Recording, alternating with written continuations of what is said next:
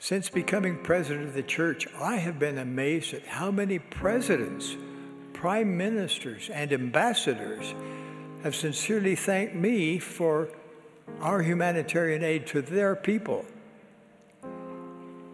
And they have also expressed gratitude for the strength that our faithful members bring to their country as loyal, contributing citizens.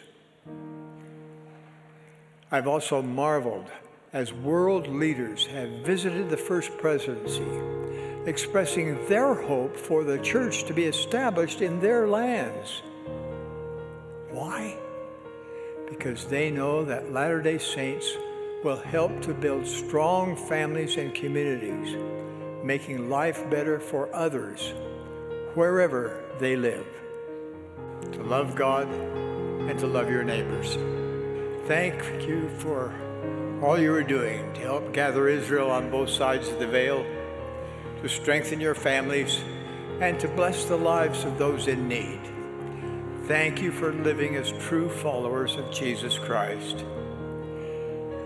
You know and love to obey his two great commandments to love God and to love your neighbors. Latter day Saints, as with other followers of Jesus Christ, are always looking for ways to help, to lift, and to love others. They who are willing to be called the Lord's people are willing to bear one another's burdens, to mourn with those that mourn, and to comfort those that stand in need of comfort. They truly seek to live the first and second great commandments. When we love God with all our hearts, He turns our hearts to the well being of others in a beautiful, virtuous cycle. It would be impossible to calculate the amount of service that Latter day Saints render around the globe every day of every year. But it is possible to calculate the good the church as an organization does to bless men and women, boys and girls, who are in need of a helping hand to love God and to love your neighbors. The church's humanitarian outreach was launched in 1984. Then a church wide fast was held to raise funds to assist those afflicted by a devastating drought in Eastern Africa. Church members donated $6.4 million on that single fast day to love God and to love your neighbors.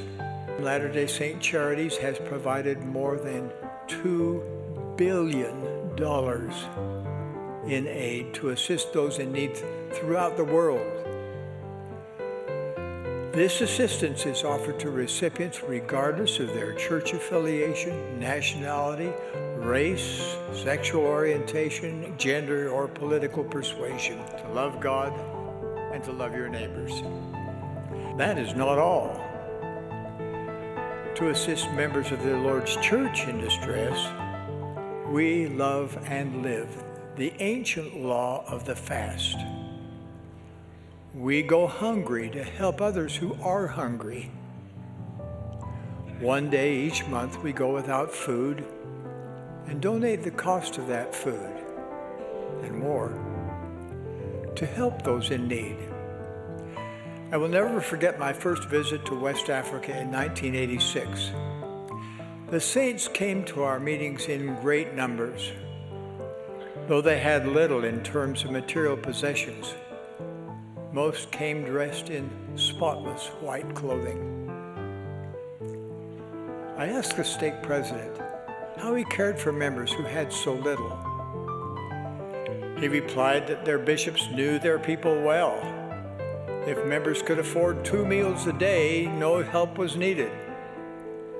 But if they could afford only one meal or less, even with family help, bishops provided food financed from fast offerings to love God and to love your neighbors.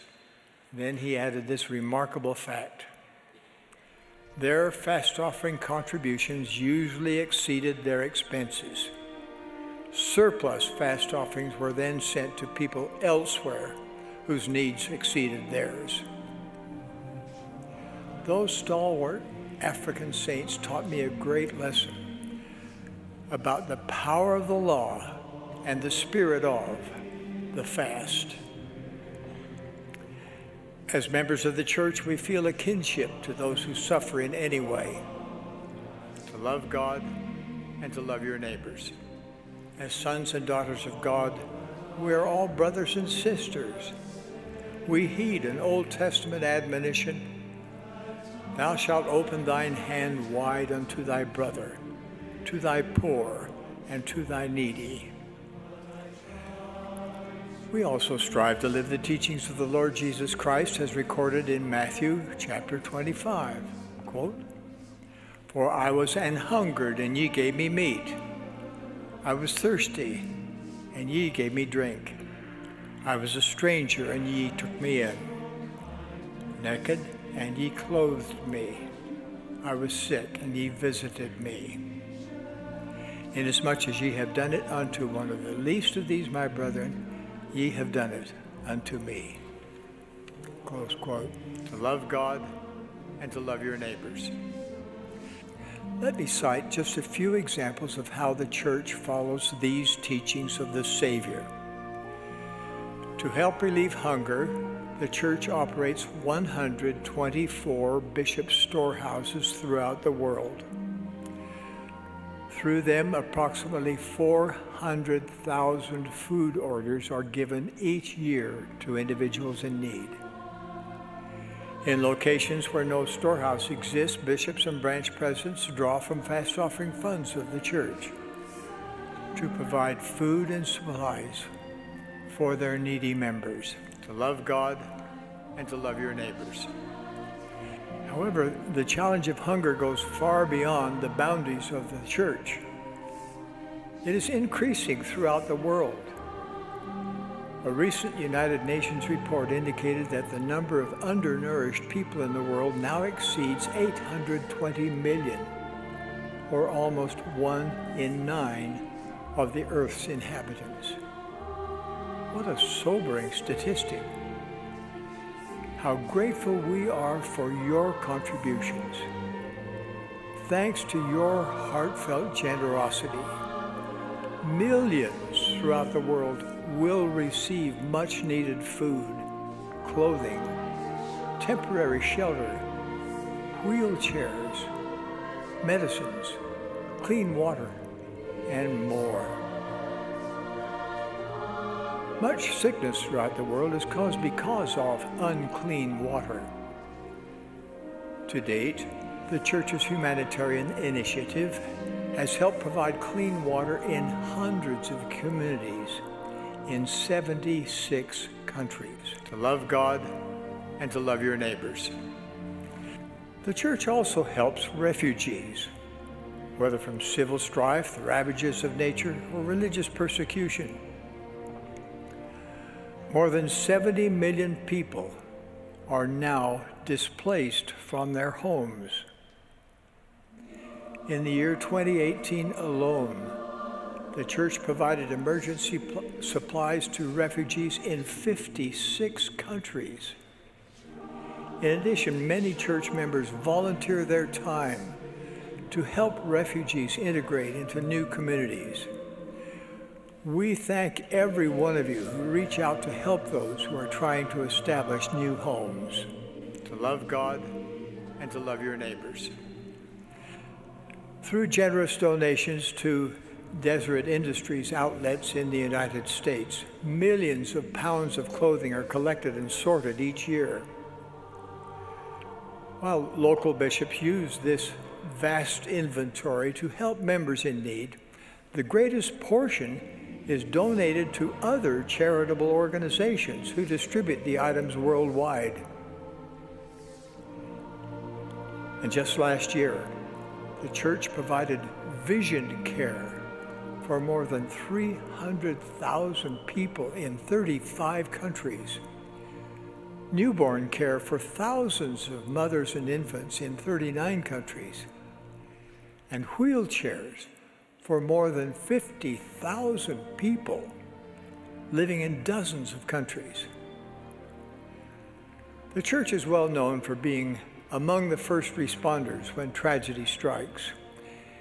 Even before a hurricane hits, church leaders and staff in the affected locations are mapping out plans for how they will deliver relief supplies, supplies and volunteer assistance to those who will be impacted. Last year alone, the church carried out more than 100 disaster relief projects around the world, helping victims of hurricanes, fires, floods, earthquakes, and other calamities. To love God and to love your neighbors. Whenever possible, our church members in yellow helping hands vests mobilize in great numbers to help those afflicted by the disaster. This kind of service, rendered by so many of you, is the very essence of ministering. To love God and to love your neighbors. My dear brothers and sisters, the activities I've described are merely a small part of the growing welfare and humanitarian outreach of the Church of Jesus Christ of Latter day Saints. And you are the ones who make all this possible because of your exemplary lives, your generous hearts, and your helping hands. It is no wonder that many communities and government leaders are praising your efforts to love God and to love your neighbors. Regardless of where we call home, members of the church feel passionately about the fatherhood of God and the brotherhood of man. Thus, our greatest joy comes as we help our brothers and sisters, no matter where we live in this wonderful world. Giving help to others, making a conscientious effort to care about others as much or more than we care about ourselves is our joy. Especially, I might add, when it is not convenient and when it takes us out of our comfort zone. Living that second great commandment is the key to becoming a true disciple of Jesus Christ. My dear brothers and sisters, you are living exemplars of the fruits that come from following the teachings of Jesus Christ. I thank you. I love you. I know that God lives. Jesus is the Christ. His church has been restored in these latter days to fulfill its divine purposes. I so testify in the name of Jesus Christ. Amen. To love God and to love your neighbors.